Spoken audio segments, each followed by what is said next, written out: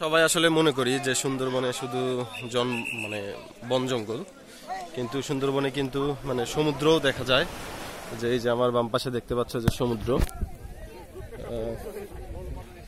এটাও কিন্তু বেশ বড় বিচ কিন্তু অতটা জনপ্রিয় না। এখানে মানুষজন খুব একটা আসে না কক্সবাজারের মতন। এখানেও কিন্তু সম্পূর্ণ সমুদ্র দেখা যাচ্ছে। এক পাশে সুন্দরবন আর এক পাশে হচ্ছে হলো সমুদ্র। এবং এটা কোনো অংশেই মনে হয় সুন্দর কম না। অনেক সুন্দর। আমার আসলে ম্যাপ দেখে মনে হতো যে এটা কেমন, কিন্তু আসলে সুন্দর।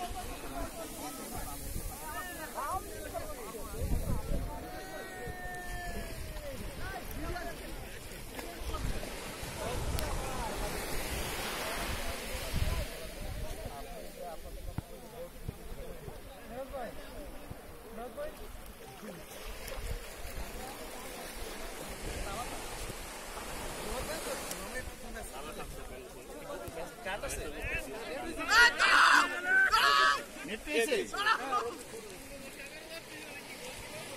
πείσεις!